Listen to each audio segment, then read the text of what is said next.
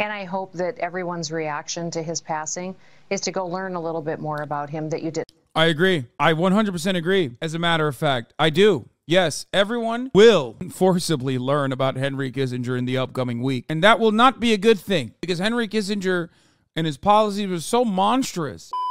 By programs which are openly and avowedly pure fiction and should be. Oh my God. Oh my God. Oh my God. Oh my God. Am I being debated? Am I being debated? Oh my God. Oh my God. Oh my God. Oh my God. Is this for real? Are we being for real right now? Folks. Am I being for real? Are you being for real? A moment we have waited for for so long. Oh my God. Ladies and gentlemen, boys, girls, and MBs, this is one of the greatest villains, our and many others' lifetimes. Henry Kissinger dies at age 100. Oh my God. On Anne, Baba! Henry Kissinger is dead. What a what a glorious day. I mean, only at the age of 100, unfortunately, died, surrounded, I assume, by his blood boys and family members and loved ones. Ladies and gentlemen, Dr. Henry Kissinger, notorious villain, architect of American Cold War, genocidal monster, one of the greatest genocidal figures of all time, literally. Henry Kissinger has died at the age of 100. Hey, died before Jimmy Carter. R.I.P. Bozo. Incredible stuff. It's crazy. He's dead. Everyone has written an obituary. Like there are so many people that have most likely, like, look, look how fast they dropped this on the Washington Post. This has been a moment that everyone was waiting. uh, So many people were waiting for. Kind of a tasteless reaction to towards a man who did so much stuff in his time, bro. This is like, like you know how America celebrated when Osama bin Laden was fucking murked. Like this dude is Osama bin Laden to the third world times 1 million. You know what I mean? Like there's no there's no comparison. I mean, this is the this is the true villain. Like if there's a singular force of evil that you can you can point to, feels too soon, you know, maybe let's wait a bit. No fucking shot, dude. Fuck that guy. Wow. I'm I'm in a little bit of shock. Did Kissinger die? Yes. We we we uh we broke it before they did, dude. We outflanked them. Oh my god. I, I'm not. I don't know what to say. What a glorious, joyous moment. What a joy of. I mean, what a what a joyous moment, but also at the same time, it's like you know he he got to fucking live to hundred. Hmm. Let's take a look at what let's take a look at what Henry Kissinger was doing right before he died, guys. Let's take a look. Let's let's take a look at what he was doing right before he died. Oh, Henry Kissinger on Hamas attacks fallout. Germany let in too many foreigners. As a minority in Berlin cheers Hamas attacks on Israel, former top U.S. diplomat says immigration was a grave mistake. Bro, so many, so many of these pieces of shit. It's like Dianne Feinstein all the way to the end. You know what I mean? Oh, wow. Wow. Wow. What can you say? Only thing that makes me sad is that Anthony Bourdain died before he could see this old man pass, you know? Guy was talking about grave mistakes. Motherfucker was worried about the, wrong grave. oh, that's funny. These are moments where I where I assume uh where I hope that, you know, hell is real, right? So that he fucking goes. I mean, here, if you want to know, here's Anthony Bourdain's uh, opinion on, on Henry Kissinger. Once you've been to Cambodia, you'll never stop wanting to beat Henry Kissinger to death with your bare hands. Dude, he doesn't like people like this. Evil never dies, okay? People like this, people like this, unfortunately, they they just get away with it. They they stay alive for 100 years. Shout out to you when you went to his 100th birthday. Hasan Piker and Austin show attends war criminal Henry Kissinger's 100th birthday party. Rap TV. Kissinger died to a self-sucking incident. That's what I've heard too. Here, let's watch the Mehdi Hasan video on like literally. Kiss- let me tell you something. This is going to be the lightest version of his uh, uh, most grave uh, uh, crimes against humanity. Kissinger's 100th birthday. Yes, the man who served Oh my god, I made this pre- did I I made this prediction, right? I said that was one of my that was one of my predictions. Henry Kissinger will die November 7th, 2023. Shit, close, but no cigar. Served as National Security Advisor and Secretary of State to two Republican presidents, Richard Nixon and Gerald Ford. the author of more than a dozen best selling books on foreign policy and grand strategy, and a man who's been described as arguably the most famous and controversial diplomat of the 20th century, turns a century old on Saturday, May the 27th. In fact, this past Monday, Kissinger blew out the candles on his 100th birthday cake on the Economic Club of New York stage in front of an adoring audience. And remember, it's not just conservatives who worship at the altar of the Henry Kissinger establishment liberals, top Democrats even, have fallen over one another to associate themselves with the great Kissinger to heap praise upon his ginormous intellect and historic achievements. Barack Obama's administration honored Kissinger with a special award. Hillary Clinton called him her friend and said she relied on his counsel. Samantha Power, the self styled champion of humanitarian interventions, went to a baseball uh-huh. game with Kissinger. And Joe Biden, when he was a senator, toasted Kissinger. Although, to be fair, he hasn't yet invited him to the White House like all of his predecessors have done. But look, here's what I want to do to mark Kissinger's 100th birthday. I want to talk about some of the many, many people around the world who didn't get to live till 100 or even 60, 70, or 80 because of Henry Kissinger, because of his support for brutal dictators, brutal regimes, brutal wars, and war crimes. Let's start where else? In Southeast Asia the war in Vietnam, which Kissinger may have ridiculously won a Nobel Peace Prize for ending, but which he prolonged and escalated in the first place, including a secret and illegal expansion of that bloody war to Laos and Cambodia. It was him Thanks to a report released by the Department of Defense in 1973, we know that the National Security Council, headed by Henry A. Kissinger, approved each of the 3,875 Cambodia bombing raids in 1969 and 1970, as well as the methods for keeping them out of the newspapers. To quote Kissinger himself while instructing an all out air assault on Cambodia, anything that flies on anything that moves. As Human Rights Watch noted in 2001, United States and South Vietnamese aerial bombings on Kissinger's watch left approximately 350,000 Laotian civilians and 600,000 Cambodian civilians dead.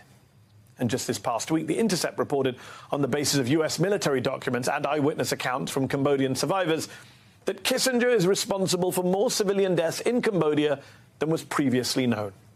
And yet, Kissinger has never apologized for what he did to Laos or Cambodia, instead, defending those bombing campaigns as legitimate attacks on North Vietnam. I failed to see the moral issue. Vietnamese forces and saying he failed to see any moral issue with them. Still, as the late great Anthony Bourdain once wrote, witness what Henry did in Cambodia, the fruits of his genius for statesmanship, and you will never understand why he's not sitting in the dock at The Hague next to Milosevic. Then there's Argentina. In 1976, a coup d'etat overthrew the elected president and replaced Eva Peron with a military junta. That junta then launched what's been called the Dirty War, the hunting down of political dissidents, of socialists, trade unionists, students. And they launched it with the approval, encouragement even, of Henry Kissinger. We know this thanks to declassified documents, which the New Yorker reported on. Oh, God, I'm going to do such a fat America bad propaganda power hour tomorrow. It's not even funny. Like, so many that always say, Hasan, all you say is America bad, are finally going to come to terms with why America bad. Incredible stuff. There are oftentimes, there is, there are very, there are very few singular individuals that you can point at when describing American foreign policy being just insurmountable evil, right? Because it's oftentimes it's oftentimes simply a it's oftentimes simply a a uh, collection of individuals uh, acting out on their capital self interest. No, tomorrow's not the IRL stream. It's next week. I was wrong. Writing Two days after the coup, Kissinger was briefed by his Assistant Secretary of State, who warned him, I think also we've got to expect a fair amount of repression, probably a good deal of blood in Argentina before too long. Kissinger replied, Whatever chance they have, they will need a little encouragement because I do want to encourage them. In a meeting with the Argentine foreign minister two months later, Kissinger advised him, in the words of the New Yorker, winkingly, quote, We are aware you are in a difficult period. We must understand. We understand you must establish authority. If there are things that have to be done, you should do them quickly. Somewhere between 20 and 30,000 people are believed to have been arrested, tortured, and killed in Argentina's dirty war. As The Guardian notes, many bodies have never been found. No birthday parties for them. Then there is East Timor, which was invaded by Indonesia in December 1975, an invasion that led to the deaths of at least 100,000 people over the next two decades plus of Indonesian occupation, according to a UN backed Truth Commission. On the eve of that invasion, literally the day before, Kissinger, alongside President. There's so much more. Like, this is just not even a highlight. Like, this is not even. This doesn't even scratch the motherfucking surface, dude. I don't. I, I can't even begin to explain this to you, okay? Yo, who's worse, Bin Laden or America statistically victim wise? Wait, what? Bin Laden or America victim wise? What, what do you mean? America fucking killed 1 million Iraqis. Like, what? America sneezes and on accident fucking kills like 3,000 civilians. President Ford met. America's the greatest terrorist on the planet. There's nothing that comes close to the number of, of civilian ca- civilian deaths. With Indonesian dictator General Suharto. Yeah. Bin Laden is the coughing baby if America is the, the hydrogen bomb. and basically gave him the green light to invade. To quote Kissinger's advice to Suharto from a declassified document, it is important that whatever you do succeeds quickly, but that it would be better if it were done after we returned to the United States.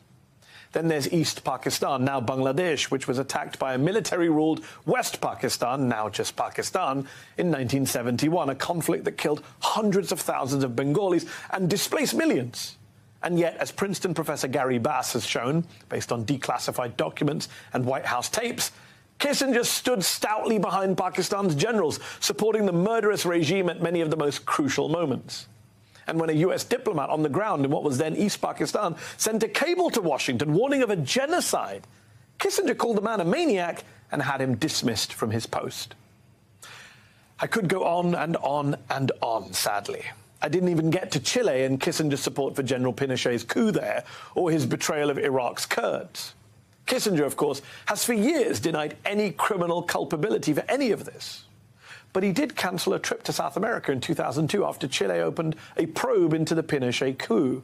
As human rights lawyer Bruce Broomhall told the New York Times back then, quote, I think it's clear that Kissinger is now one of many, many officials who have to think twice before they travel. As historian Greg Grandin of Yale has argued, a full tally hasn't been done, but a back of the envelope count would attribute three, maybe four million deaths to Kissinger's actions. Easy. So, where is the accountability? The reckoning? Where is justice, dare I ask? In his 2001 book, The Trial of Henry Kissinger, the late Christopher Hitchens called for Kissinger to be prosecuted for war crimes, for crimes against humanity, and for offences against common or customary or international law, including conspiracy to commit murder, kidnap, and torture. And yet, Kissinger this week celebrates his landmark 100th birthday with not an arrest warrant or war crimes tribunal in sight. Henry Kissinger, being a free man for his entire life, after the many war crimes that he was the direct architect of, truly shows America's hegemonic power status. Okay? Like, it, it goes to show you that the International Criminal Court, The Hague, international humanitarian law, all of these organs that are supposed to uphold the liberal, rule based international order are simply there for aesthetic purposes or, in many instances, to give the go ahead to the United States of America to go and bludgeon our foreign adversaries. Was this popular opinion to say against Kissinger years ago? Yes. Yes. Yes. Yes. Henry Kissinger has been a notorious evil figure that uh notoriously evil figure that many people consider to be objectively evil for so long. It's not even a, a controversy, it's a cliche. To say rest in peace Henry Kissinger is is unironically a cliche. The the funny problem, I mean, the funny situation is that like a lot of liberals that you will be hearing from tomorrow that celebrate Henry Kissinger's death, people that adorn the aesthetics of radical politics, will be doing it without even considering the irony of their endless defense for American misconduct, American imperialism, in the ongoing conflicts. Not just talking about 4 million dead. You have to take into account how many decades worth of economic and social hardship these countries are having to endure because of him, forever stuck in the depths of poverty, humanity set back as a whole because of this one demon. The 4 million are direct birth defects. Yeah, I mean, I, I, I showed the Anthony Bourdain quote from his book. Once you've been to Cambodia, you'll never stop wanting to beat Henry Kissinger to death with your bare hands. You will never again be able to open a newspaper and read about what that treacherous, prevaricating, murderous scumbag sitting down for a nice chat with Charlie Rose or attending some black tie affair for a new glossy magazine without choking. Witness what Henry did in Cambodia, the fruits of his genius for statesmanship, and you will never understand why he's not sitting in the dock at The Hague next to Milosevic. While Henry continues to nibble nori rolls and rumaki at A-list parties, Cambodia, the neutral nation he secretly and illegally bombed, invaded, undermined, and then threw the dogs, is still trying to raise itself up on its one remaining leg. Two years ago, prediction. Kissinger finally dies. Um, no, I, I I made this prediction in 2022. I was wrong, and I made it in 2023 again. I was right. So don't show the 2022 one. Show the 2023 one. Sure, I'll put it in there. I don't think it's gonna happen, but at HasanAbi go on the Joe Rogan. That was in yeah, I wasn't confident in 2020. Uh, that was in 2021 when I predicted for 2022. Um, he later provided some assistance to the Johnson administration, but found his home ultimately as the implementer uh, and chief advisor to Richard Nixon. And it is the Nixon Kissinger team that would be the most consequential of any team uh, in U.S. foreign policy until the end of the Cold War. After uh, he left uh, Washington, he remained significant, um, not only as a conduit between American foreign policy leaders and leaders that Kissinger had known, but Kissinger was the man to see if you wanted to meet the, the latest American president. So Richard, so Kissinger is not only significant in shaping the policies of one presidency uh, as both a national security advisor, then a secretary of state, then both, but he would become a signal figure, an important figure for those trying to understand U.S. foreign policy for decades. Indeed, after his 100th birthday, Henry Kissinger was an honored guest in China. And for the Chinese, Kissinger was a symbol of a relationship uh, with the United States that frankly doesn't really exist anymore. Kissinger was also extremely controversial because he and Nixon had undertaken extremely controversial policies. The Christmas bombing and the overturning of the Allende government in Chile. Huh. Yeah. And you know what I'm thinking? Dude, if the CNN if CNN is saying he's controversial, you know his ass is the worst monster. You know what I mean? He undertook to forge a peace, you know, after the 1973 war and what that looked like. And just can you talk about that influence that he had, particularly on this region uh, uh, in that moment? Well, it, he had enormous influence. First of all, because the president of the United States was largely incapacitated during the Yom Kippur War. Uh, Nixon uh, was um, was dealing with um, the acceleration of the Watergate uh, scandal and the, the start of the impeachment inquiry. And for all intents and purposes, Richard uh, Henry Kissinger was directing U.S. foreign policy during the Yom Kippur crisis.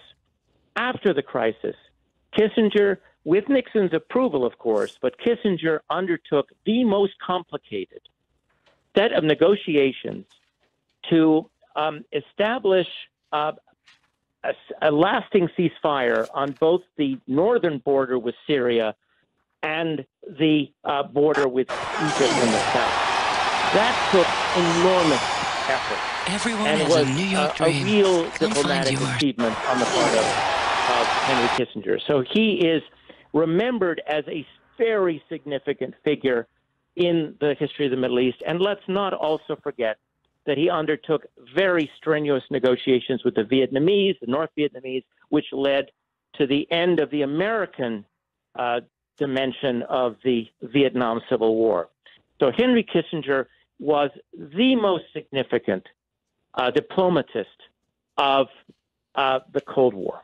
Without exception. The Beltway butcher, war criminal Kissinger, dead at 100. I wonder if Henry Kissinger's death will cause people to just like take a cold, hard look at our policy, like our foreign affairs, everything that we've done, especially because it's been so long. Holy fuck. Spencer Ackerman is another one of those people that 100% friend of the show, Spencer Ackerman, definitely had an obituary. Definitely had an obituary ready to go. Henry Kissinger died on Wednesday at his home in Connecticut. His consulting firm said in a statement the notorious war criminal was 100. Measuring purely by confirmed kills, worst mass murder ever uh, executed by the United States was white supremacist terrorist Timothy McVeigh. On April 19, 1995, McVeigh detonated a massive bomb at the Murrah Federal Building, killing 168 people, including 19 children. Government killed McVeigh by lethal injection on June 2001.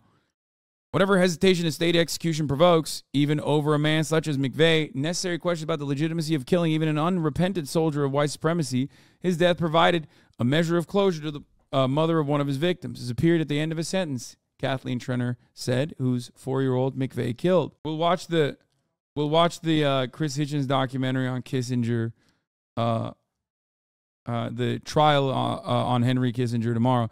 McVeigh, who in his own psychotic way, thought he was saving America, and never remotely killed on the scale of Kissinger, the most revered American grand strategist, strategist in the second half of the 20th century.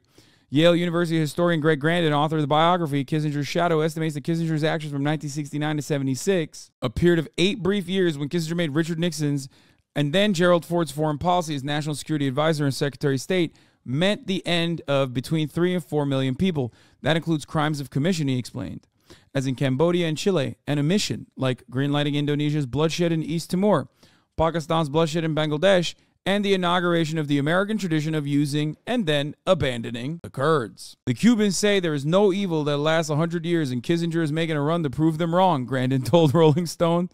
Not before Kissinger died. Not long before Kissinger died. There is no doubt he'll be hailed as a geopolitical grand strategist, strategist even though he bungled most crises leading to escalation. He'll get credit for opening China, but that was de Gaulle's original idea and initiative. He'll be praised for detente, and that was a success, but he undermined his own legacy by aligning with the neocons. And of course, he'll get off scot free from Watergate, even though his obsession with Daniel Ellsberg really drove the crime. No infamy will find Kissinger on a day like today. Instead, in a demonstration of why he was able to kill so many people and get away with it, the day of his passage will be a solemn one in Congress and shamefully since Kissinger had reporters like CBS's Marvin Kalb, the New York Times' Hedrick Smith wiretapped newsrooms. Kissinger, a refugee from the Nazis who became a pedigreed member in the Eastern establishment of Nixon, hated, was a practitioner of American greatness, and so the press lionized him as the cold blooded genius who restored America's prestige from the agony of Vietnam. Not once in the half century that followed Kissinger's departure from power did the millions of the United States killed matter for his reputation, except to confirm a ruthlessness that pundits occasionally find thrilling. America, like every empire, champions its state murderers. The only time I was ever in the same room as Henry Kissinger was at a 2015 National Security Conference at West Point. He was surrounded by fawning Army officers and ex officials, basking in the presence of a statesman. Seymour Hersh, the investigative reporter who was most prominent uh, who was the most prominent exception to the fawning coverage of Kissinger, watched journalistic defer- de- uh, deference take shape as soon as Kissinger entered the White House in 1969. His social comings and goings could make or break the Washington Party, Hersh wrote in his biography, The Price of Power. Reporters like the Times' James Reston were eager participants in what Hersh called an implicit shakedown scheme. That is, access journalism, in which reporters who got inside information in turn protected Kissinger Wait one second. Hersh called an implicit shakedown scheme that is access journalism, which reporters who got insider information in turn protected Kissinger by not divulging either the full consequences of his act, acts or his own connection to them. Kissinger's approach to the press was his approach to Nixon, sniveling obsequiousness. Although Kissinger could vent frustration on reporters that he never could on his own boss. Hersh quotes H.R. Haldeman, Nixon's chief of staff, remarking that Kissinger was the hawk of hawks inside the White House, but touching glasses at a party with his liberal friends the belligerent Kissinger would suddenly become a dove. Reviewing one of Kissinger's litany of books, Hillary Clinton in 2014 said Kissinger, a friend whose counsel she relied upon as Secretary of State, possessed a conviction that we and President Obama share a belief in the indispensa- uh, indispensability of continued American leadership and service of a just and liberal order. Kissinger told USA Today within days that Clinton, presumed then to be the president in waiting, ran the State Department with the most effective way that I've ever seen. The same story noticed a photograph, auto, uh, photograph autographed by Obama thanking Kissinger for his continued leadership. It's always valuable to hear the reverent tones with which American elites speak of their monsters. When the Kissingers of the world pass, their humanity, their purpose, their sacrifices are foremost in the minds of the respectable. I'm going to uh I'm probably gonna have Noah on tomorrow, and I'll probably have Spencer on too. I'm gonna fucking hit him up. Wait, does Spencer no longer have Spencer Ackerman no longer have a Twitter? What the fuck? I know I saw Noah announced. Um, oh, he does. Okay, never mind. I couldn't find it. I'm no talk. Would you like to come on? It's always valuable to hear the reverent tones with which American elites speak of their monsters. When Kissingers of the world pass, their humanity, their purpose, their sacrifice are foremost in the minds of the respectable. American elites recoiled in disgust when Iranians in great numbers took to the streets to honor one of their monsters, Qasem Soleimani, after a U.S. drone strike executed the Iranian external security chief in January 2020. Soleimani, whom the United States declared to be a terrorist and killed as such, killed far more people than Timothy McVeigh. But even if we attribute to him all the deaths in the Syrian civil war, never in Soleimani's wildest dreams could he kill as many people as Henry Kissinger. Nor did Soleimani get to date Jill St. John, who played Bond girl Tiffany Case in Diamonds Are Forever. Kissinger's ascent occurred through an obscenity that time cannot diminish.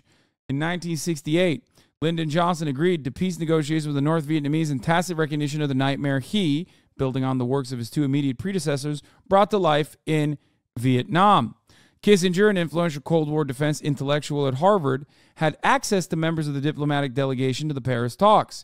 He used it to feed information from the negotiations to Richard Nixon's presidential campaign, a campaign whose defeated GOP rival, David Rockefeller, Kissinger advised. And despite Kissinger's closer political ties to the coterie, coterie around Hubert Humphrey, Nixon's Democratic rival, Nixon ran for president claiming to have a secret plan to end the war. His advisors told Hersh, told Hersh they were deeply afraid that Johnson and Hanoi would reach an accord before the election. It would save lives in Vietnam, American and Vietnamese, but it would undermine Nixon's hopes of exploiting the explosion of domestic anti war sentiment. Nixon gratefully took what Kissinger gave him to make the U.S.'s proxy regime in Saigon, whose regime peace would destabilize, more intransient, intransigent. No agreement was reached until 1973, and the war ended American humiliation with Hanoi's 1975 victory. You close the lights behind me. I don't know what's going on. It took some balls to give us those tips. Richard Allen, a foreign policy researcher on the Nixon campaign, later reflected to Hersh. To the Hersh, it's a pretty dangerous thing for Kissinger to be screwing around with national security. Every single person who died in Vietnam between autumn 1968 and the fall of Saigon, and all who died in Laos and Cambodia, where Nixon and Kissinger secretly expanded the war within months of taking office, as well as all who died in the aftermath, like the Cambodian genocide, their destabilization set into motion, died because of Henry Kissinger. We will never know what might have been. The question Kissinger's apologists and those in the U.S. foreign policy elite, which are, you know, that's reductive, those are the Kissinger apologists who continued on his legacy for the most part, insist upon when explaining away, uh, or sorry, uh, who have stood in or who imagine themselves standing in Kissinger's shoes insist upon when explaining away his crimes. Kissinger materially sabotaged the only chance for an end to the war in 1968 as a hedged bet to ensure he would achieve power in Nixon's administration or Humphrey's. A true tally will probably never be known of everyone who died, so Kissinger could be national security advisor. Yeah, Noam Chomsky has officially outlived Henry Kissinger, which is good. It's a sad day for us because he was a leader that led through challenging times. And I hope that everyone's reaction to his passing is to go learn a little bit more about him that you did. I agree. I 100% agree. As a matter of fact, I do. Yes, everyone will forcibly learn about Henry Kissinger in the upcoming week. And that will not be a good thing because Henry Kissinger and his policies were so monstrous and so far in our rear view mirror that we can actually make honest assessments about them. Because as you know, liberals love the current war, even though they hate all the previous wars, um, and say the previous wars were bad. They talk about all the civil rights movements of the past as a good thing that they would certainly support, just not the one that's currently happening now, right? But Henry Kissinger's actions are very much in the rear view mirror. So, a lot of liberals who will lap up the rest of the State Department propaganda for the ongoing wars will, at the very least, come to the recognition. At the very least, come to the recognition. That's Madeleine Albright on the left. Chatter, who asked, who's that on the left? Didn't know before. Uh, around your dinner table or when you're driving in the car with your kids, tell them a few Kissinger co- quotes that that were used at strategic times. Give them a little bit of history because if we forget uh, what happened in the past. We're doomed to repeat it. And many times throughout history, the United Wait, is she being woke? Like, what's happening? I'm confused. States of America went through dark times, and leaders like Kissinger stood up and they took action and they provided leadership when we needed it the most. Yeah, making a lot of history. anyway, before we get back to the article, here is Mao being surprised at the height of Henry Kissinger's wife.